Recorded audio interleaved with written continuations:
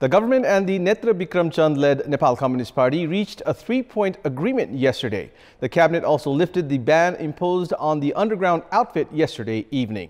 The agreement with an underground outfit previously banned by the KP Sharma Oli administration has sent quite a few ripples in the national politics. We have more in this report. Prime Minister and the ruling party chairman KP Sharma Oli has been adopting a defensive strategy in the party and the parliamentary politics. In the meantime, the Oli administration has skillfully managed to bring the Chand-led group into the mainstream politics within 48 hours after both the sides had announced their talks team. Following the several rounds of talks held in Baluwatar since Wednesday morning, the Chand group agreed to seek a solution to all political issues through dialogue and carry out peaceful political activities.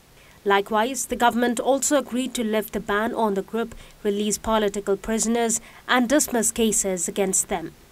Issuing a joint press statement after the agreement, both the teams informed that Prime Minister KP Sharma Oli and General Secretary Netra Bikram Chand of the group will address from a common forum in the early afternoon on Friday.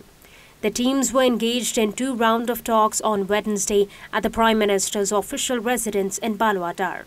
Sources have claimed that Minister for Water Resources Mani Thapa had initiated the talks with the Chand-led Nepal Communist Party as he had visited the Nakkhu prison in the capital to hold meetings with the jailed leaders of the group two months ago. It may be recalled that the government had banned the group on 12th of March 2019 following a series of blasts in the country.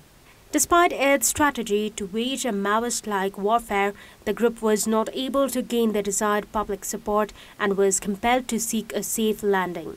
Meanwhile, the hasty agreement has led political analysts to suspect of power politics in the ongoing politics of horse trading.